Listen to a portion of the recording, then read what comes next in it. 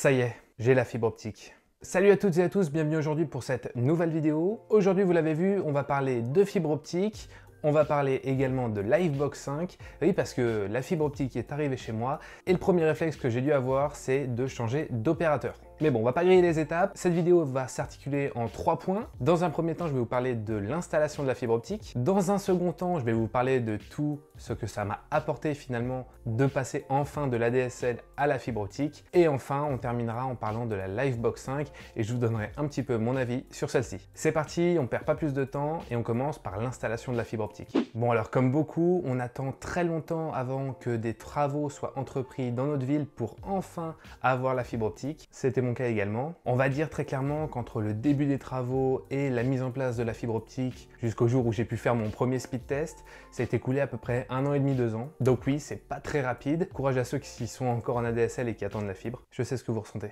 Donc finalement, une fois que les travaux sont entrepris par l'opérateur d'infrastructure, dans mon cas, c'était Essonne Numérique, parce que oui, j'habite dans l'Essonne. Une fois les travaux terminés, la plupart du temps, il y a une certaine partie des opérateurs qui sont éligibles. Alors, euh, il y a des sous-opérateurs, enfin ce que j'appelle des sous-opérateurs. Euh, dans ce cas-là, il y avait Canet ou Coriolis. En gros opérateur, il y avait également Orange SFR, mais par contre, il n'y avait pas Free. Sachant que moi, initialement, au niveau de la DSL, j'étais chez Free, j'avais une Freebox Delta. Donc du coup, forcément, le premier réflexe, changer d'opérateur et passer chez Orange. Bon alors par contre, une fois que les travaux sont terminés, forcément euh, la fibre, elle s'est arrêtée devant chez vous. Maintenant, l'opérateur que vous allez choisir va vous raccorder à la fibre optique chez vous, va récupérer la fibre dans la rue et la porter directement dans votre maison. Après, dans un appartement, c'est un petit peu différent. C'était pas mon cas, je vais pas rentrer là-dedans. Par contre, vous vous en doutez, on a connu une année un petit peu compliquée entre le Covid, le confinement.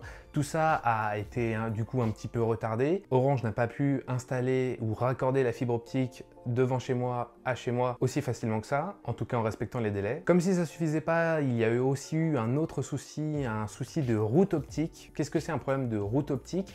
C'est tout simplement que l'opérateur d'infrastructure, donc je l'ai déjà cité, Esson Numérique, n'avait pas transmis la route optique à Orange. La route optique c'est quoi? C'est tout simplement un plan qui indique à Orange où est-ce qu'il doit venir se raccorder devant chez moi, mais également dans une baie à mon quartier en fonction des arrivées de fibre optique. Donc tout ça, du coup, a encore une fois retardé l'ensemble. Bref, la fibre était activée et fonctionnelle dès le 4 mai 2020, une date qui restera dans les mémoires. Bon, maintenant que l'installation est terminée, je vais vous dire quel a été mon ressenti et quel est encore mon ressenti actuellement quand on passe de la DSL à la fibre optique. Bon alors vous vous en doutez, hein, je vais l'apprendre à personne, c'est juste génial. Passer de la DSL à la fibre optique, c'est un petit peu comme si on se rendait compte que la plupart des appareils qu'on a communiquent avec Internet actuellement, on les exploitait pas forcément à 100% de leur capacité. Avec la fibre optique, on a vraiment l'impression de profiter pleinement de ces appareils. Forcément, la fibre optique, c'est un confort génial. Avec elle, on a la possibilité de télécharger des fichiers très lourds, que ce soit des films, des jeux, des logiciels beaucoup, beaucoup, beaucoup plus rapidement qu'avant. Là où certains jeux, je pense que certains se reconnaîtront, on les téléchargeait en plusieurs jours, plusieurs nuits y compris. Et eh bien là, aujourd'hui, en une quinzaine de minutes, une vingtaine de minutes, on télécharge un jeu pesant plus de 50 gigas et ça c'est vraiment vraiment génial. Autrement que dans le divertissement, la fibre c'est juste top. Pourquoi? Parce que en ce moment même, la plupart du temps, on est en télétravail et ça apporte la fibre une vraie sérénité. Pour tout ce qui est visioconférence, c'est juste génial. Fini les coupures de micro, fini le tas de pixels qui remplacent votre visage lors d'une visio. À ce niveau-là, c'est vraiment vraiment cool. La possibilité également de s'envoyer des fichiers très rapidement sur le cloud. Ah, le cloud, c'est devenu ma clé USB, enfin mon disque dur. C'est juste génial. On peut stocker très facilement et on peut venir télécharger des fichiers stockés également sur Internet très facilement. Et quand on bosse à la maison avec tout ce qu'il peut y avoir autour, qui déconcentre, qui nous rend pas forcément super efficace, la fibre optique, c'est déjà un souci de moins et c'est une vraie sérénité. Pour donner un exemple, quand j'étais avec la DSL, souvent je devenais complètement parano à me dire mais quel appareil est en train de me bouffer la bande passante? Parce que j'arrive pas à regarder un film, il y a des saccades ou des blocages d'images euh, toutes les deux minutes. Ça, c'est de l'histoire ancienne. Ou encore quand on est plusieurs à la maison et que certains veulent regarder un film, un autre veut jouer dans une autre pièce, ou que quelqu'un télécharge un logiciel autre part, ça devient vite le bordel. Et avec la fibre optique, tout le monde peut faire ce qu'il veut. Et en même temps. Donc la fibre optique, Waouh, quel plaisir. Bon, ça y est, fini de rigoler, fini de parler finalement de la fibre optique de manière générale. Là, on va parler de la Livebox 5. Je le rappelle, hein, j'étais initialement chez Free en ADSL et il a fallu que je passe tout simplement chez Orange avec leur Livebox pour bénéficier de la fibre parce que Free n'était pas encore disponible pour la fibre dans ma commune. Bon alors cette box, on va en parler, on va faire le tour un petit peu des caractéristiques intéressantes, hein, on va pas tout éplucher parce que forcément il y a des caractéristiques techniques où on s'en fiche un peu et si on s'en fiche pas trop, c'est plus simple et plus fiable d'aller chercher directement ces informations dans le descriptif technique sur le site d'Orange. En fonctionnalité ou en tout cas en éléments intéressants à souligner, on commence par le design hein, parce que c'est là-dessus qu'a misé euh, Orange, hein, c'est euh, sur la partie 100% recyclée de sa coque. C'est vrai que c'est toujours sympa de se retrouver avec des produits qui essayent d'avoir un impact le plus léger possible sur l'environnement. Donc même si ça n'apporte rien en réalité dans les fonctionnalités, c'est toujours cool. Cette box, elle intègre un Wi-Fi intelligent. Donc ça veut dire quoi un Wi-Fi intelligent? Ça veut dire que le routeur va directement sélectionner le type de bande qui va correspondre le mieux à votre appareil. Donc entre la bande 2,4 GHz et la bande 5 GHz. Toujours au niveau du Wi-Fi, on n'est pas sur un Wi-Fi 6 comme certains pouvaient l'attendre parce que bah, il y a la concurrence qui s'est très clairement lancée sur le Wi-Fi 6. Ici, on reste sur un Wi-Fi 5. Alors qu'est-ce que ça veut dire un Wi-Fi 5 par rapport à un Wi-Fi 6 C'est pas facile à dire, mais ça veut tout simplement dire que vous n'allez pas avoir d'aussi bon débit euh, qu'avec un Wi-Fi 6. Également, le Wi-Fi 6 a la particularité de vraiment bien cibler les appareils sur lesquels il doit se connecter, alors que le Wi-Fi 5 va un petit peu arroser de manière moins précise l'environnement où se les appareils voulant recevoir des informations en Wi-Fi. Et donc du coup, on est sur un Wi-Fi bi-band, comme je l'ai dit, 2,4 GHz et 5 GHz. La plupart du temps, vous vous connecterez en 5 GHz pour avoir des meilleurs débits. Et certains appareils, comme par exemple des appareils domotiques, ne pourront se connecter qu'en 2,4 GHz. Si ça vous dit rien ce que je vous raconte, n'hésitez pas à aller regarder une vidéo que j'ai faite qui se nomme Comment améliorer sa connexion Internet. Et là-dessus, je fais pas mal de pédagogie, j'essaie d'expliquer certains aspects de la connexion Internet et je donne des petits conseils, n'hésitez pas. Enfin, à l'arrière de la box, on va retrouver 4 ports 1 gigabit par seconde. Donc c'est sympa pour pouvoir raccorder les appareils à proximité de la box qu'on veut pour que ce soit plus fiable, connecté en filaire, en Ethernet.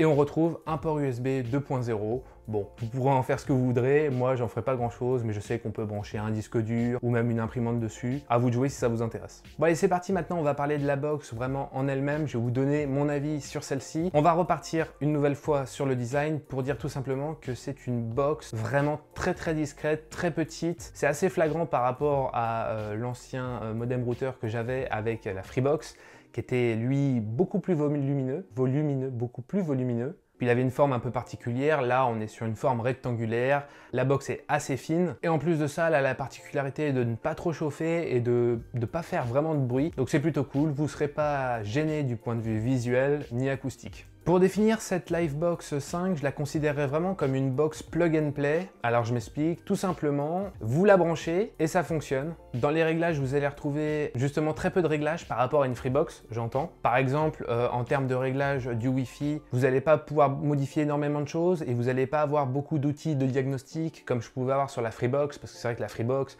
c'est un vrai couteau suisse ce truc là, on peut en faire un serveur, on, peut faire plein de trucs, on peut modifier par exemple la largeur de bande en Wi-Fi pour être en 40, en 80 ou en 160 MHz. Bon là on peut pas le faire, on peut facilement sur la Livebox par contre modifier le type de canal, vous pouvez le modifier manuellement ou alors vous pouvez laisser la box le faire automatiquement. C'est vrai que moi j'aime bien gérer un peu les choses manuellement et pas trop laisser faire la machine. J'en parlais au début du Wi-Fi intelligent où il choisit automatiquement le type de bande soit 2,4 GHz soit 5 GHz. Moi je préfère avoir deux réseaux différents et distincts l'un de l'autre et me connecter en fonction des compatibilités des appareils que j'ai, soit à la bande 5 GHz, soit à la bande 2,4. Mais ça, c'est mon avis. Donc voilà, donc très clairement, si vous venez du monde de la Freebox, vous arriverez sur cette Livebox et vous ne serez pas frustré, c'est pas le mot, mais voilà, vous vous direz que vous avez beaucoup moins d'outils et beaucoup moins de possibilités de personnalisation. Il faut se dire que sur la Livebox, vous aurez le standard et vous pourrez modifier ce que le commun des mortels peut être amené à modifier en temps réel. Si vous êtes un adepte du touche à tout et que vous aimez bien vous créer votre propre réseau à vous, voilà,